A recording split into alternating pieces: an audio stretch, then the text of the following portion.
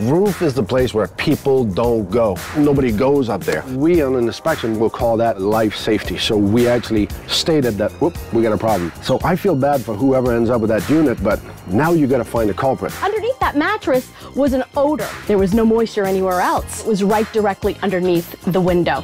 Hey everyone, Izzy MJ from Endless RVing with a special video today. We have Pierre and Laurel from Blue Ox on the Run. They have an RV YouTube channel. They are also full-timers and they full-time inspect RVs. So in this video, we're gonna talk to them about some very common problems that they find when they inspect their RVs and what you should be looking out for when you get an RV.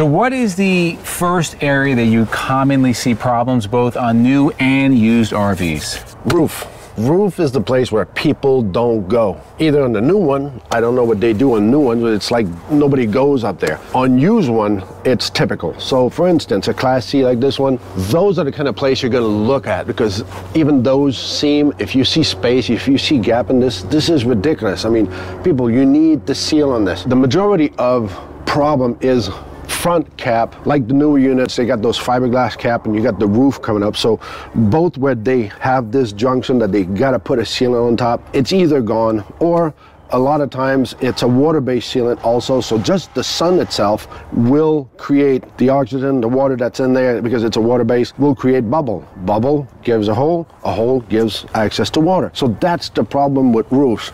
It's moving. It's a big piece of 4 by four plywood, whatever the size of the roof is, and it's actually going like this in the front from the back. So nothing is holding together. So you will have issues on those. So that's one of the big problem is the water on the roof is the first problem that we always encounter. So number two is actually something that we spent a lot of time learning about in inspector school. It can be a life or death issue. And what is that? So it's called the hot skin test. So you actually check the unit for any ground. The power comes from a telephone post, an electrical outlet, and now it's given power to the system. The problem is if something was fixed in there where they put screws to get a wall or to, to fix an implement or to fix some kind of a toiletry item and they go through a wire. You don't know that, I don't know that. The way to test this, which dealers say they claim they do it, but they never did it, never.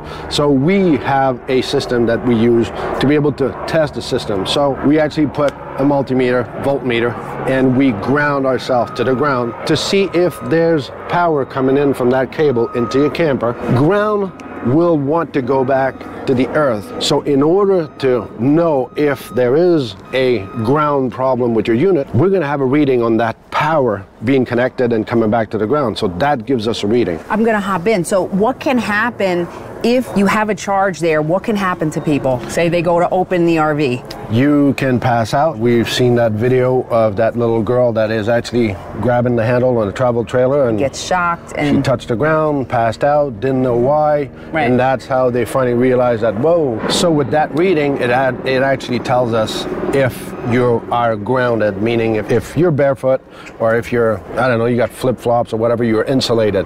If you don't have flip flops and you grab your handle, Right. and it's grounded, you get the charge. you turn into Yep. barbecue, So what, what is the, uh, I guess, the maximum reading that you can get before So- you know there's a problem? we don't determine where your safety states. We state after five volts going through your skin can pierce your skin. Five volts, well grounded, it can actually shock you to the point where it's going to pierce your skin. So fire hazard, you're going to get hurt. So we on an inspection will call that what we call a life safety. So we actually stated that whoop, we got a problem, and Laurel can vouch to this. We had let's say 40% of units that will have up to 11 we saw 11.2 volts on, on a unit. So I feel bad for whoever ends up with that unit, but now you got to find a culprit. So you can have the problem at the pedestal. So that's why you need a EMS. You actually have to have something that tempers that power because you can have a ground fault, which would be a wrong reading on the, the hot skin itself. So it's all those little things that with our knowledge, with our experience, I even don't even use the ground of an electrical outlet now. I actually use a screwdriver that I put directly in the earth where it's wet. So now I have a real ground. So it's emphasizing how many voltage I can get on that. So to answer your question, one to three volts, it's fine. At four volts, we actually mention it and it becomes life safety.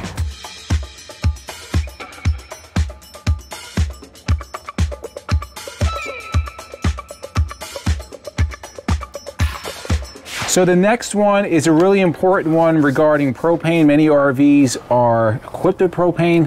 What is the test that you run? It's called a propane leak test. So we actually use a manometer. I'm gonna spare you with the eight water column and all of that jargon thing. So we basically isolate the system. So from this, we actually put pressure. So we'll either go in the in the gas top or we'll go in one of those spigot that you plug your grill into. We're going to charge the system. We're going to shut off the system. So now you got pressure in all the system everywhere in the stove and your heater and everything. And if you don't run nothing in there, now we got two separate systems. This one that doesn't leak, and now we're going to test if this one that goes to your house leaks. And that's where we get a reading within seven minutes, five minutes. What we have, we have a reading. We prove our reading that it did hold the test, so you don't have any propane leak in your system. If you do, as minimal as it could be, I sometimes I, I redid it about four times just to convince myself that it is doing this. And I also have two manometers that I will check the pressure to make sure that your life is not on the line. Now, when you do these tests, how often do you find a leak on the propane system? I would say probably 50% of the time we find a propane And leak. now, is this on new units, used units, or it doesn't matter? We've had both. I think we have more new units than we have on old units. We have a lot of new units, Yep. but it's been on both for sure. But those new units don't think that because it's new that you're not going to have an issue. it is scary because all the guys out there that think that they know it all and they think they can build a house and figure everything and have fish in the pond and that's the problem. When you don't know what you're looking for and you don't have the right tools to do what you're doing well leave it to people who actually do this for a living. Propane is dangerous. If you don't know what you're talking about don't try to wing it and just say that oh yeah i'm buying it because i'm loving it. There might be a problem and your life might be at stake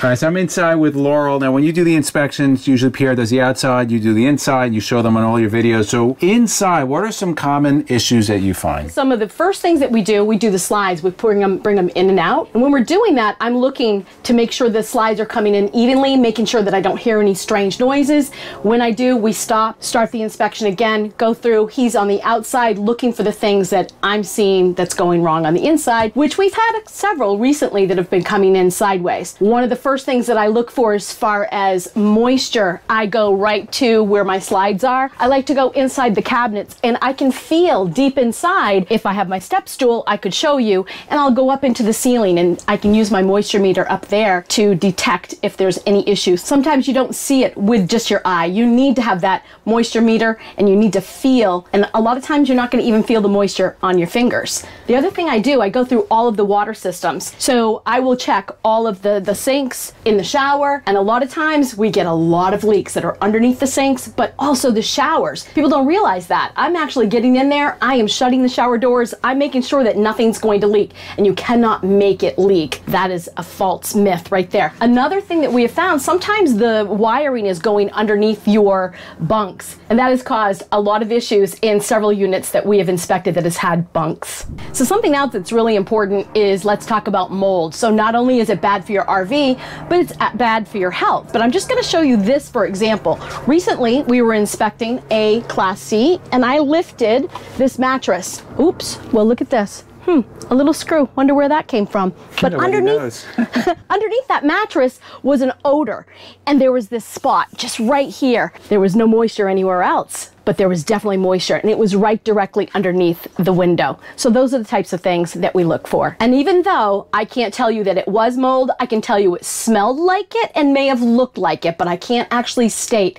that it is mold. Well, that was a lot of useful information, maybe an eye opener for many. If somebody's looking to follow you on YouTube where you do inspections all the time, or they want to get their RV inspected either to sell, because that's a really good idea, or if they're going to buy an RV, tell our subscribers how to keep in touch, get in touch with you. You can get in touch with us by going to our YouTube channel, Blue Ox on the Run, and also our website, www.blueoxrvinspection.com. and remember and do never forget it's not about the destination It's all about the journey.